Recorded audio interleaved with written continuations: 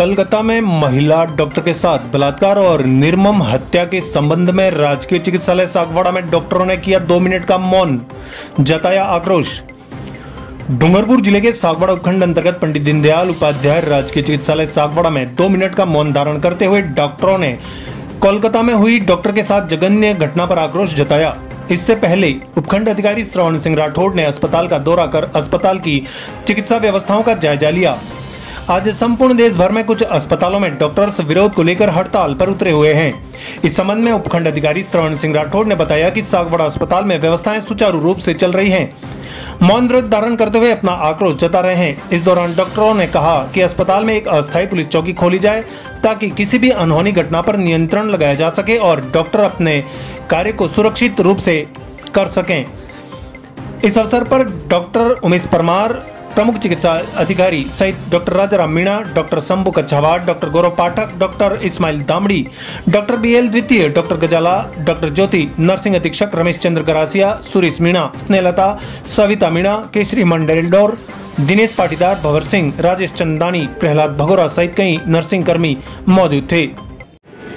आज हमारे पूरे doctors, nursing staff paramedical staff और स्टाफ के सभी कर्मचारियों ने जैसा कि आपको पता है कि पश्चिम बंगाल के एक मेडिकल कॉलेज में एक सीनियर रेजिडेंट के साथ दुर्व्यवहार कर और उसका मर्डर कर दिया गया। उसके आत्मा की शांति के लिए हमने यहाँ पे दो मिनट का मौन रखा है। साथ ही हम प्रशासन को अभी ज्ञापन भी देंगे कि इसको प्रधानमंत्री को इसको पहुँचा जाए और सख्त दोषियों के साथ सख्त से सख्त कार्रवाई की जाए। आज हमने चिकित्सक हमारे काम कर रहे हैं लेकिन भविष्य में अगर ऐसा हुआ तो हम कार्य का बहिष्कार कर सकते हैं। जैसा कि सर राज्य में और जगह पर डॉक्टर हड़ताल पर हैं तो क्या यहाँ पर कार्य चल रहा है या हड़ताल पर है?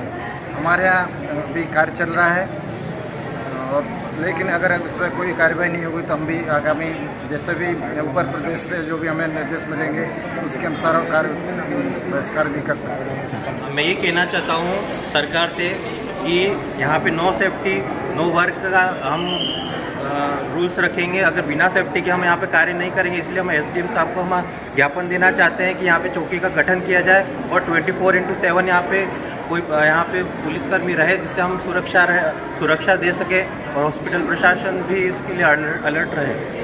संबंध में सभी नर्सिंग स्टाफ हमारे साथ है, पैरामेडिकल स्टाफ है और पूर्ण तन मन, धन से वो हमारे साथ, जो भी हमारे निर्णय उसको हमारे साथ सहयोग करके वो वही रास्ता अपनाएँगे जो आगे से हमारी यूनियन तय करेगी।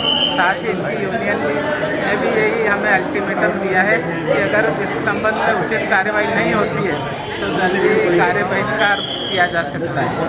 बताया कि चौकी की मांग की है हमारी। तो हम भी जैसे नर्सिंग स्टाफ जैसे नाइट ड्यूटी करता है फीमेल स्टाफ काम करती है तो उनकी सुरक्षा बहुत ज़रूरी है। इस हिसाब से हम एस डी साहब से कलेक्टर साहब से, राज्य सरकार से रिक्वेस्ट करते हैं कि एक पुलिस चौकी हमारे यहाँ पे स्थापित की जाए, ताकि यहाँ पे सुरक्षित जोन में सभी काम कर सके और सबकी सेवा कर सके। आज हम सब, जो हमारे कोलकाता में डॉक्टर के साथ अमानवीय घटना हुई थी, उसके लिए हम सभी डॉक्टर और नर्सिंग स्टाफ एक साथ इकट्ठे हुए थे, जिसमें हमने दो मिनट का मौन रखा है।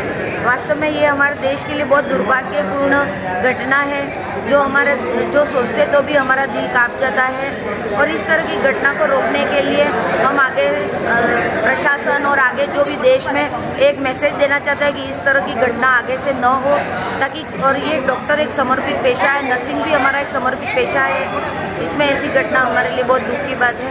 दुख व्यक्त करते हुए हम सभी उन डॉक्टरों की जो कमेटी और जो भी जो आगे है, उसमें हम नर्सिंग स्टाफ भी उनका साथ देते हैं, ताकि आगे से ऐसी घटना नहीं हो। धन्यवाद। सागवाड़ा लाइव न्यूज़ जी हाँ लेटेस्ट खबर पाने के लिए चैनल को सब्सक्राइब कीजिए। वीडियो को लाइक कीजिए और शेयर कीजिए। धन्यवाद।